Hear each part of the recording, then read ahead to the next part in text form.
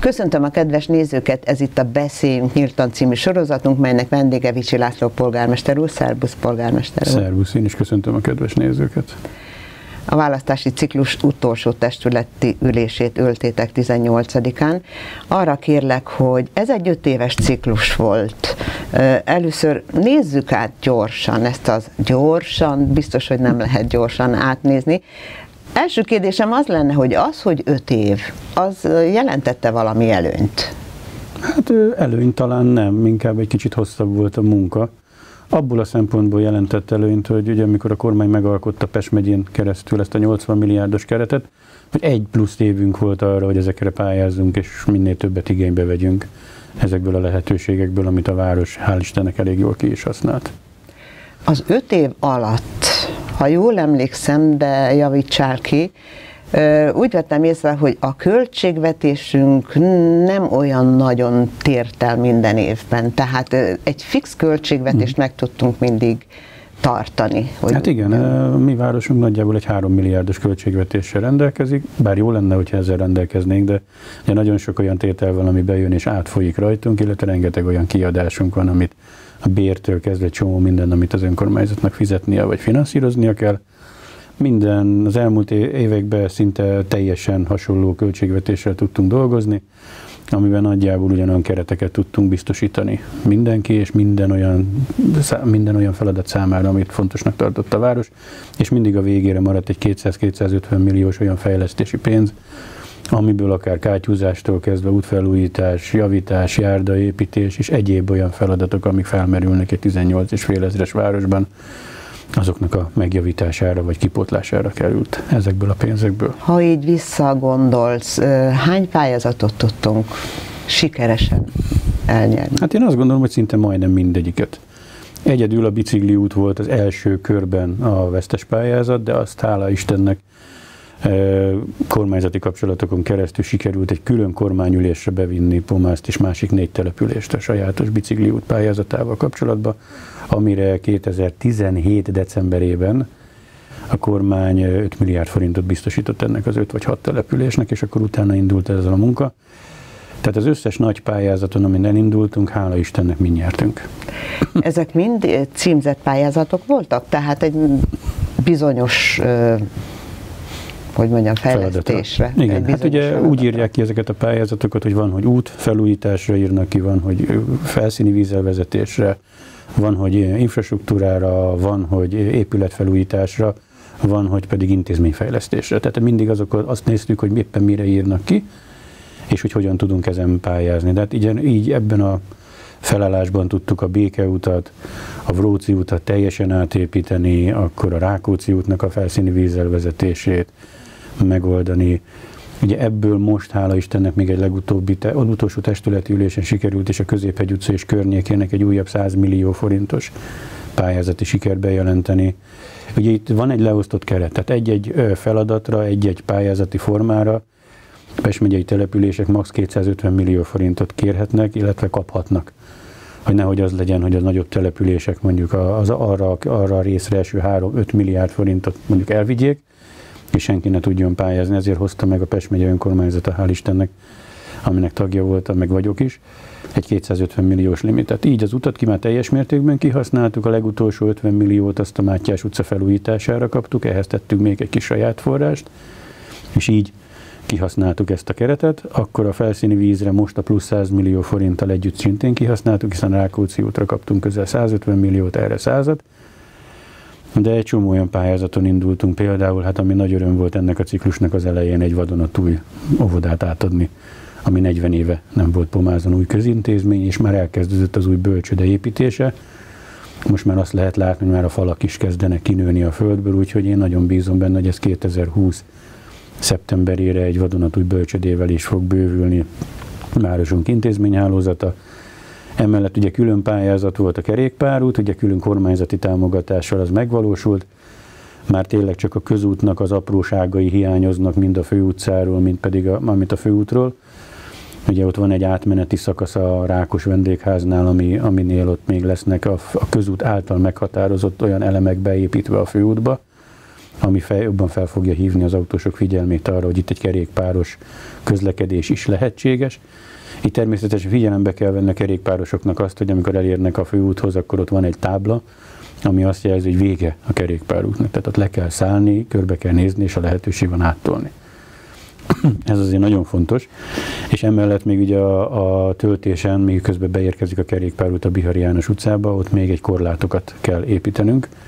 Ez folyamatban van, de hál' Istennek már műszakilag olyan állapotban van a bút, hogy rengetegen használják, és a felfestés után nagyon sok embernek tetszik, hál' Istennek. És használom. Nagyszerű.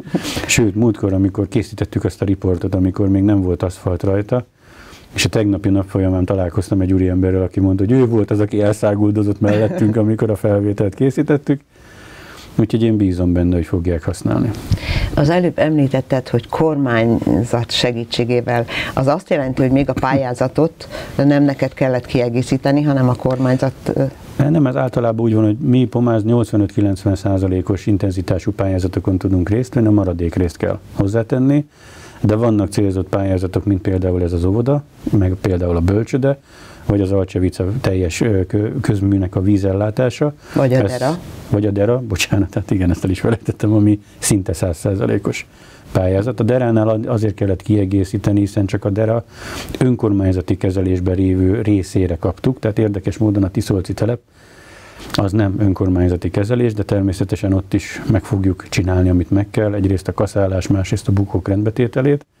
Erre külön forrás saját pénzből kellett hozzárendelni, hogy egységes képet mutasson az egész patak a város egész területén.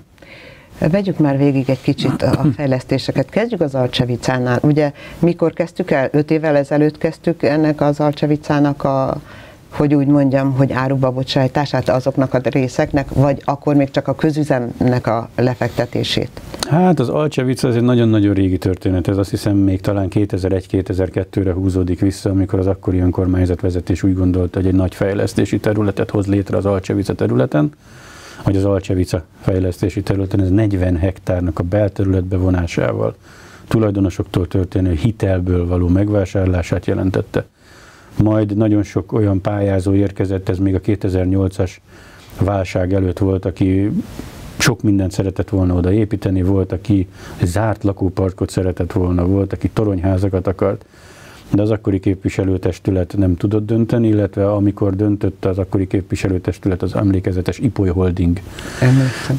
mellett, akkor utána utána ez a történet megszakadt. Aztán jött a válság, és éveken keresztül senkinek nem lehetett eladni, senkinek nem volt érdeke ezt értékesíteni, és olyan alacsony árak voltak. Aztán az Ipoly Holding visszatért pont az öt év letelt előtt, és fel tudott mutatni egy olyan rossz szerződést, amit elődeink kötöttek, aminek következtében 380 millió forintot kellett az önkormányzatnak visszafizetni.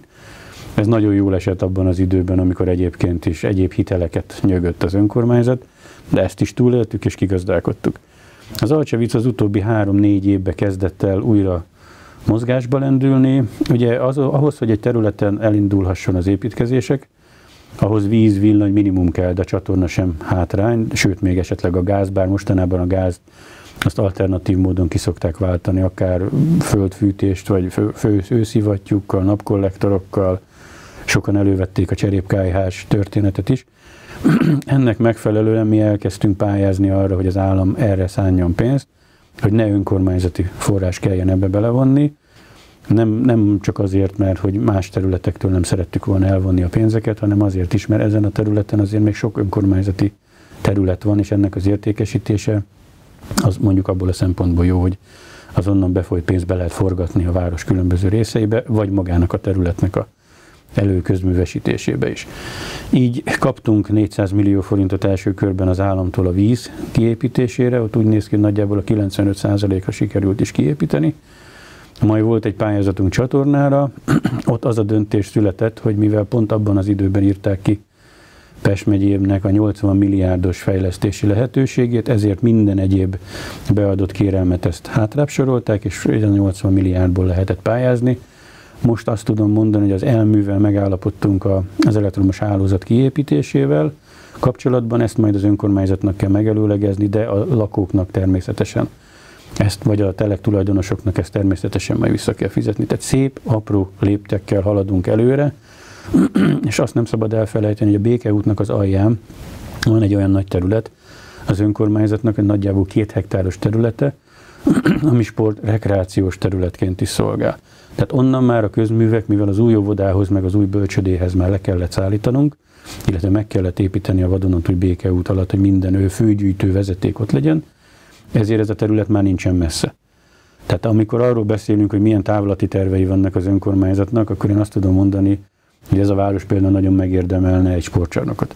Annak a területe ott van. Tehát attól a területtől akár 100 méteren belül az összes közmű rendelkezésre áll, de egy sportcsarnok megépítése a mai árakon az 1-2-3 milliárd forintról beszélünk, egy olyan több funkciós sportcsarnokról, amit a város apraja nagyja tudna használni, sok funkciós céllal, több részből, amit azt gondolom, hogy megérdemelne ez a település. Saját erőből természetesen butaság lenne azt mondani, hogy ezt majd az önkormányzat kitermeli, hiszen mondtam az előbb egy 3 milliárdos költségvetésből általában éves szinten 200 millió, 250 millió áll rendelkezésre egyéb feladatokra kötelezőkön kívül.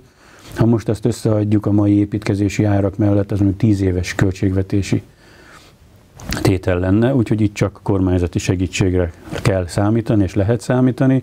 És Én... az nem merült föl, hogy esetleg, ha nem is eladni, de egy fejlesztést, mit tudom én, meghirdetni, és bérbe adni a részt?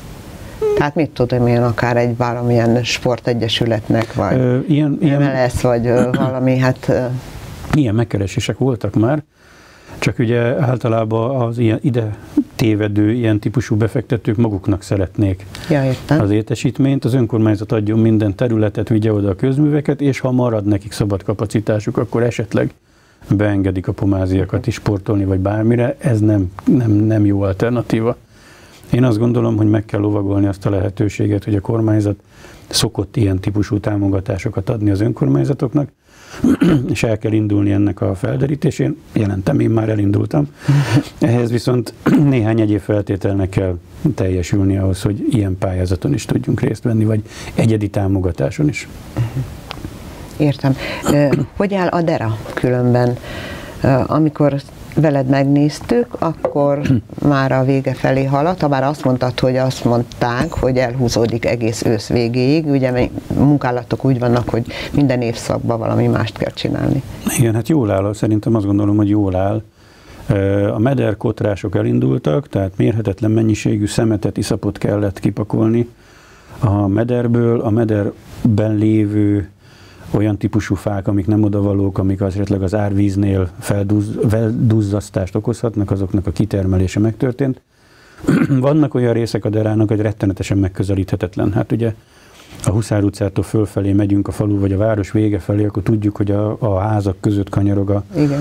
a folyó. Sőt, nem is olyan rég jelentették, hogy az egyik mélyedésnek a kipucolása közben találtak egy olyan forgót, ahol négy méter mély víz van. Tehát az évek, évtizedek alatt, ahogy úgy forgott vissza a víz, hogy kimosott mindent alatta, és majdnem a traktor is elsüllyedt benne. Tehát letette a gémét, hogy kaparjon, és eltűnt teljesen. Tehát azért vannak izgalmak és érdekességek.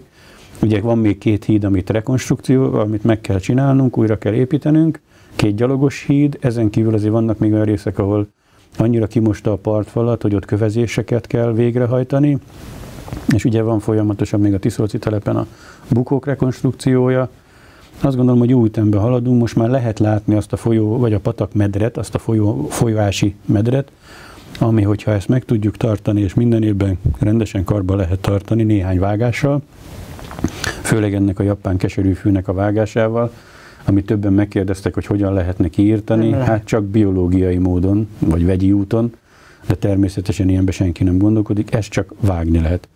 Tiszolci telepen én anyukámmal szemben van egy-két olyan rész, ahol, ahol látom, ahol szinte napi szinten vágják, tehát vannak néhányan, akik azt gondolják, vagy úgy gondolják, és ezt jól teszik, hogy a, valamilyen úton, módon ők is rendbe teszik a patakot, nem dobálnak bele szemetet, rendszeresen vágják. Ahol ez a japán keserűfű ilyen sűrűn vágva van, ott nem jön ki. Ott fű van, ott ez teljesen kultúráltan hát lehet kezelni. Hát kipusztul, valószínűleg nem tud föl, fölnőni annyira, nem kap annyi tápanyagot, és ezért ezáltal kipusztul. Ugye hát az önkormányzat maximum egy évben három-négyszer tudja levágatni, e, ennek megfelelően sajnos vágni kell majd ezek után is, de viszont olyan patak szelvény alakul ki, ami most már le fogja tudni vezetni azokat a villámáradásokat, amik remélem, hogy soha nem lesznek, de ha lesznek, akkor ne ez legyen a probléma, hogy bárhol visszadúsul, megakad, és úgy önti el a települést. Volt ebben részünk, nem egy, nem kettő.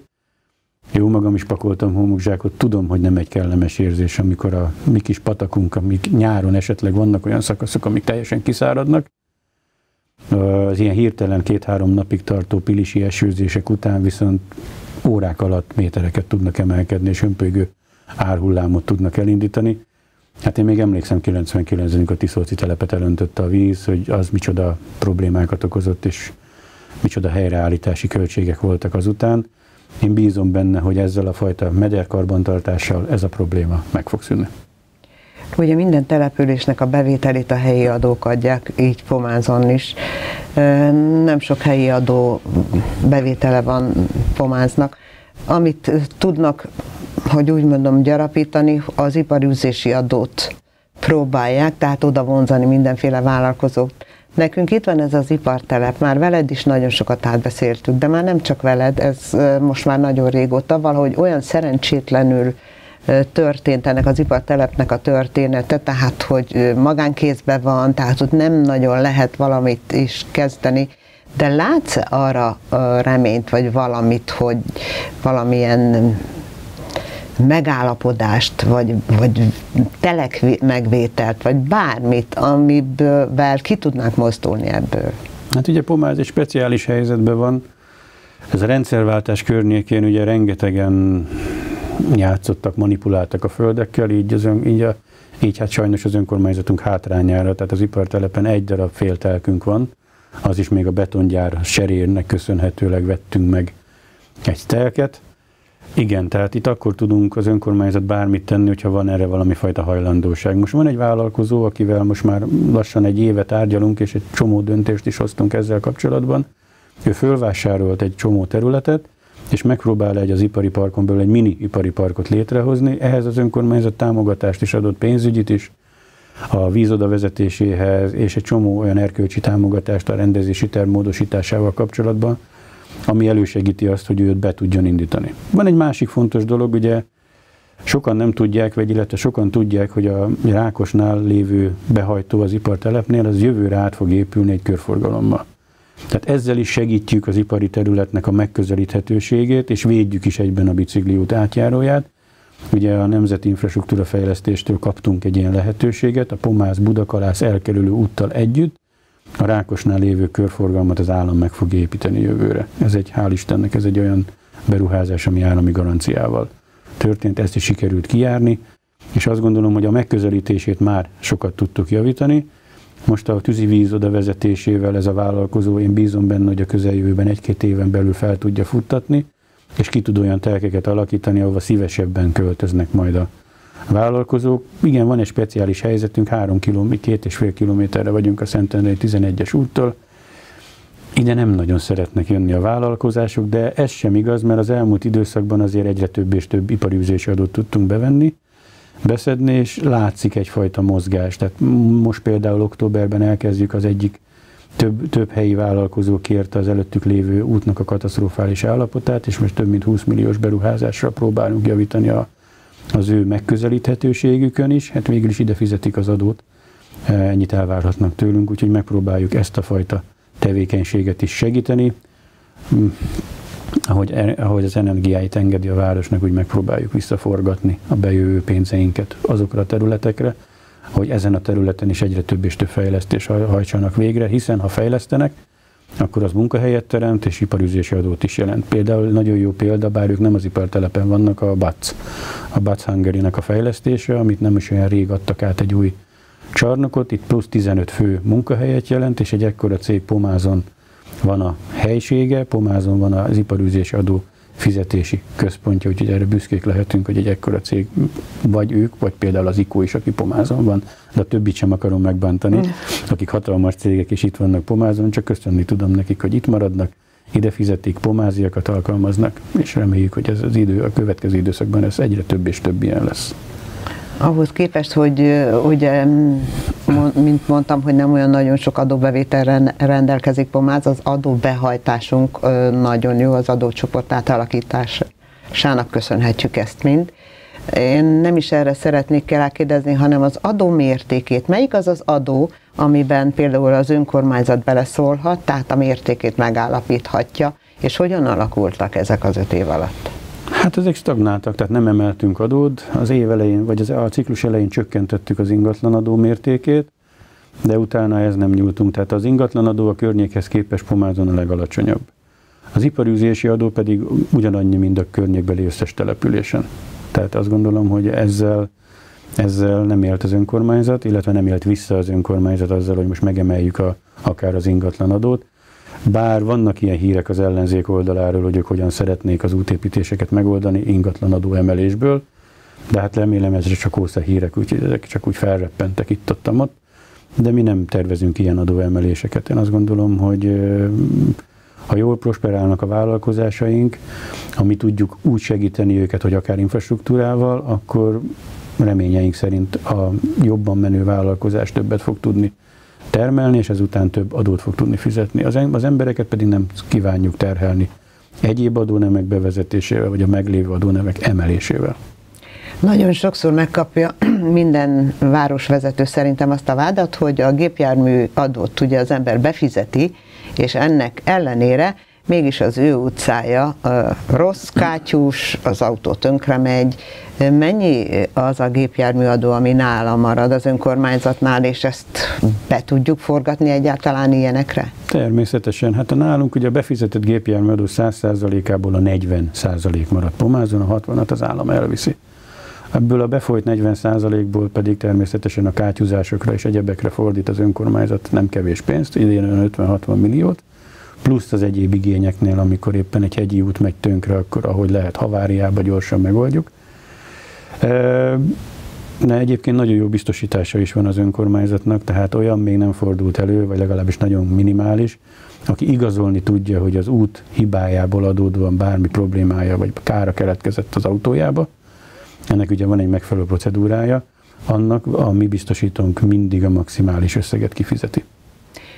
A ciklus valamelyik évében próbálkoztál, azt hiszem a tavalyi évben próbálkoztál azzal, hogy Pomász főutcáját egy kicsit szebbé tegyük, épp ezért pályázatot írtál ki az ott lakóknak, amire ugye nem jelentkezett senki. Így van. Hát ez nagy kár, nem tudom, hogy ez hogy lehetett. Hát azt gondolom, hogy egy nagyon jó ötletet adtak a kollégáim, hogy vezessünk be egy ilyet, hogy akkor volt 3 millió forint erre, egy kísérleti jelleggel, hogy akár fél millió forintot is lehetett pályázati úton az önkormányzattól kérni és kapni a homlokzat felújításokra. A főutcán lévő házak homlokzat felújításukra, felújítására senki nem jelentkezett. Illetve volt egy, aki késő jelentkezett, sajnálom, én azt gondoltam, hogy erre sokkal nagyobb lesz az igény, de sokan úgy gondolják, hogy nekik ez a fajta főutca homlokzat, ez így megfelelő. Vagy esetleg lehet, hogy volt egy olyan, hogy ugye az elvégzett munkát számlával kell igazolni, mint minden hát- pályázatnál. Hát, hát igen, tehát Mert ez a pályázat... költségvetési igen, igen. szerv vagyunk, tehát minden egyes forint fillér után nekünk számlával kell igazolni. Én nem hiszem, hogy ha valaki egy nagyobb homlokzati felújításba belekezd, az mondjuk, hogyha megveszi az alapanyagot, arról nem kap számlát. Tehát én azt gondolom, hogy ezt meg lehetett volna tenni. Sajnálom, hogy ez nem kertette föl az emberek érdeklődését. Igyekszünk majd, hogyha a közeljövőben bizalmat kapunk, hogy újabb és újabb ötletekkel álljunk elő. De egyébként a hősök terénél lévő egyik ingatlan tulajdonosa, új tulajdonosa keresett meg nem is olyan rég minket, és ott viszont lesz egy külön megállapodás, hogy az, az ő homlokzata megújuljon, és ennek megfelelően ebbe az önkormányzat beszáll, hogy a hősök terénél lévő házának a homlokzata az olyan legyen, amilyen, ami illik már ehhez a felújított, most már egyre jobban virágosított hősök teréhez. Neked volt egy álmod, egy egészségház megépítése, ami nem sikerült megvalósítani. Mondjuk úgy sikerült nagyjából megvalósítani, hogy úgy nagyjából egy helyen maradtak, csak átköltöztek különböző régi épületekbe, te mm. átcsoportosítással. De gondolom nem így gondoltad, de ez mennyire lett célszerű, vagy hogyan alakult ez így? Hát ugye annak idején a kormányzat hozott egy döntést, hogy nagyjából a járás központok egészségügyi szervezeteit, vagy ez egészségügyi intézményeit fejlesztik, És ugye nálunk a járásközpont a Szentendre. És ugye előtte még próbálkoztunk, egy ilyen nagy átfogó, hatalmas terv volt, hogy egy komplet egészségházat kellene létrehozni, egy telekösztevonásokkal, ott a régi gyógyszertár lebontásával és az egésznek az átalakításával. Viszont miután ilyen kormányzati döntések születtek, ezért ezt a fajta lehetőség ez el is tűnt. És ez nincs is. Most sincs, és nem lesz a jövőben. A járásközpont Szentendre, ott építették meg a SZEIT, ugye ezt a hatalmas új átfogó rendelőintézetet, ahova minden pomázinak, hogyha olyan problémája van, akkor sajnos át kell menni. De itt is folyamatos az egy- egyeztetés, hiszen az ottani vezetők rengeteg olyan gépet szereznek be, amik, amikhez az önkormányzatok plusz segítségét is kérik, amit természetesen adunk. Mi azzal próbáltunk meg komfortosabbá tenni az itteni mind a gyerekorvos, mind a körzeti orvos, mind a fogorvosi lehetőségeket, hogy felújítottuk, szépen fokozatosan felújítottuk ezeket az intézményeket, kívül, belül, nyílászáró cserével, a gyerekorvosi rendelőt azt láthattuk, hogy az elmúlt években tökéletesen átépítettük, ott még egy plusz rendelőre is van lehetőség. Megpróbálunk szakorvosokat átsábítani kis plusz pénzért, hogy akkor se, azért se kelljen átmenni. Van külön vérvételi, vérvizsgálati lehetőség nekünk, pomáziaknak, ugye a terápiás kórházzal, kórháznál, a Gálfinál, úgyhogy ez, emellett ezeket tudtuk segíteni. Most van egy együttműködés az orvospárokkal, a házi orvospárokkal kapcsolatban. Tavaly az egyik orvosi rendelő újult meg, amiben az önkormányzat egy kis pénzt beletett. Idén megújult a másik orvosi pár, az orvosi, az orvosi helysége, ők is nagyon örültek ennek, ebbe is betett egy kicsi pénzt az önkormányzat. Tehát így próbálunk mindig egy picit szebbé tenni, finomítani, hogy ha már az ember betegen bemegy a rendelőintézetbe, akkor egy kicsit kulturáltabb körülmények fogadják. Ebbe tudunk mi most segíteni. Sajnos ez a terv, ez csak terv maradt, ugye döntések alapján Szentendre lett kijelölve járásközpontnak, és az ő területén fejlesztették az egészségügyi ellátást. Mi nagyon szerettünk volna járásközpont lenni, azt téged rosszul érintett, hogy ez nem így sikerült? Hát én azt gondolom, hogy ez az 50-es években úszott el, amikor Pomásztól elcsatolták a Szent István telepet, és Szentendrét elkezdték ilyen módon erősíteni. Szerintem esélytelennek voltunk abban, hogy Pomáz járásközpont lesz. Kistérségi mikroközpontként ugye működött sokáig, amíg kistérségi társulás volt, Ugye Pomáz, Budakalás, Csobánka és Pilisztent kereszt alkottunk egy ilyen kis mikro térséget. Azt látom, hogy a települések megpróbálnak önállósodni, ami jó bizonyos szempontból, bizonyos szempontból rossz, hiszen hogyha nincsenek ismerősök a többi képviselőtestületben, akkor nagyon nehezen lehet együtt működni. Hát a járásközpont, az mondom, az 50-es években úszott el annak idején. Hát nem Szentendrével nem tudunk versengeni. Tehát Szentendrével azt gondolom, hogy nem is illik, meg hát esélytelenek is vagyunk azzal kapcsolatban, hogy Szentendre fölé nőjünk, hiszen Szentendrén a rendőrség, a kapitányság, a, a SZEI, az orvosi ellátás, a bíróság, minden egyéb oda van telepítve. Tehát így, így alakult ki a járásközpont az elmúlt 40-50 évben. Ezen változtatni nem lehet. Lakosság számba kezdjük utolérni ne. Szentendrét, úgyhogy... Egyáltalán de... irigykedjünk Szentendrére? Én azt gondolom, hogy nem. Mi egy gyönyörű helyen élünk. Mi egy gyönyörű kisvárosban élünk. Én külön örülök annak, hogy én itt is születtem és itt nőttem föl. Nekem Pomáz mindig a szívem csücske. Szentendre is egy nagyon szép, hiszen középiskolába oda jártam, rengeteget csatangoltunk, hol iskolába, hol iskola nélkül is, a főtéren és a környékén. Az mindig egy, számomra mindig egy ilyen művész város marad, mint ahogy most is ebben növi ki magát. Pomáz pedig egy olyan nyugodt település, ahol én azt gondolom, hogy jó hazajönni, jó kiülni a kertbe, sütni egy szalonnát, vagy levágni a füvet. Én azt gondolom, hogy Pomáznak más értékei vannak. Itt vagyunk a Pilis lábánál, aki akar menni túrázni az erdő közelséget, a természetet akarja, az itt megtalálja. Persze mindenféle problémával meg vagyunk áldva, hiszen ez a rettenetes forgalom, ami van, de ugye erre is vannak tervek. Tehát erre is itt van az asztalon az, hogy, hogy amit kiártunk az elmúlt években, a Pomász-Kalász közötti elkerülő út, aminek a kivitelezése 2021-ben el fog indulni. Ami azt jelenti, hogy rettenetes forgalmat fog levenni most a hősök teréről, tehát akik Kalász felől jönnének felénk, én azt gondolom már nagyjából a Huszár utca magasságától azok el tudnak majd menni úgy Budakalász felé, hogy Kalász előtt egy hév fölötti felüljáróval egy nyílegyenes út fog becsatlakozni a 11-es útba. Ez egy óriási lépés lesz azt gondolom a városunk fejlesztésében, illetve az élhetőségében, valamint az, amit a Magyar Közút megígért, bár még nem nagyon tettek érte semmit, de hát igyekszünk majd ezt is mi hamarabb kicsit jobban kihajtani belőlük, hogy a csobánka, csobánkai kereszteződésnél egy olyan lámpás kereszteződés megépítése, ami zsilipeli a városon keresztül menő forgalmat. Ezek itt vannak, ezek a tervek megvannak, ezek a lehetőségek adottak, ezt szeretnénk a következő időszakban kiteljesíteni, ehhez természetesen, mivel ezek állami cégek, ehhez nagyon komoly állami segítség is kell, hogy ezen dolgozunk. Végezetül egy utolsó kérdésem maradt számodra, mégpedig az, hogy ez az öt év, ha úgy összességében átgondolod, mennyire volt feszült, mennyire volt nyugalmasabb, mint az elmúlt évek? Hát az elején nagyon nehezen indult. Ugye 2014-es kampány nagyjából hasonló, mint a mostani. Hát tele volt mocskolódással, lejáratással, minden egyébbel. Utána nagyon nehezen sikerült visszatalálni a nyugalmas hétköznapokhoz. Azt el tudom mondani, hogy a keresztény konzervatív értékeket képviselő képviselőtársaimmal tökéletesen tudtunk együtt, és tökéletesen tudunk együtt dolgozni. Hát az lmp és együtt most ugye éppen civil szervezetként működő ellenzékkel pedig nem. Ők mindent megtettek a város ellen. Tehát én ezen csodálkozom néha, hogy hogy az ember, hogyan gondolják, hogy ők önkormányzati képviselők, hogyan tesznek ők esküt pomáz város szolgálatára, amikor az egész tevékenységük arról szól, hogy lejáratják, mocskolják a városukat. Az, hogy a városvezetést, ezt már megszoktam, tehát egy nagyon cuki, idézőjeles cuki példa, talán még emlékszünk arra, hogy 2018. januárját hogy kezdtük. Volt az a szemétválság, amikor a akkori zöldbicske, aki ugye egyetlen pályázóként... Aki egy hónapig állt pomádon. Igen, igen, aki nem tudta elvinni a szemetet.